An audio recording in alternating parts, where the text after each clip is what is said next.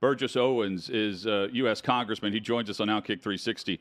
Paul briefly covered the Raiders um, in the early to mid 90s. 95. And he, he has a, a great Al Davis story, but I'm, I'm positive you have More. multiple Al Davis stories.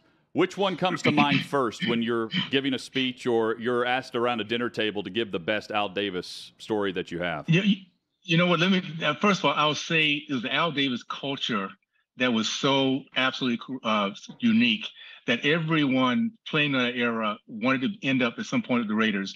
Uh, and, and, and just got the, the Raiders in those days, um, it was a very different. It was a, a, a, culture of the second chances. You know, guys who were too too old, too too uh, too wild, too rambunctious, too dangerous for other teams were just right for the Raiders because they felt this was a place they can have a second chance, being a culture that all that matters was just winning.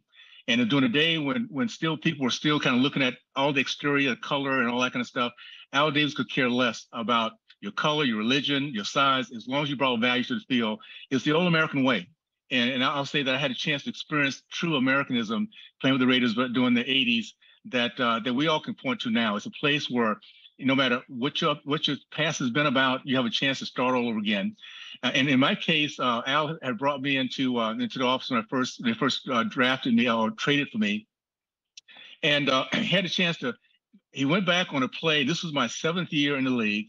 He went back to a play in college uh, a particular play and, and, pointed out to what it was. And I realized how he's, the guy was a genius. Uh, he saw stuff in people. He saw talent and potential. He just did not forget, and that's why he was able to to amass such great talent, particularly those kind of toward the end of their careers, and many of us. And uh, when by the time we got there, we are just just proud to be part of that remarkable uh, team of uh, of winners for sure.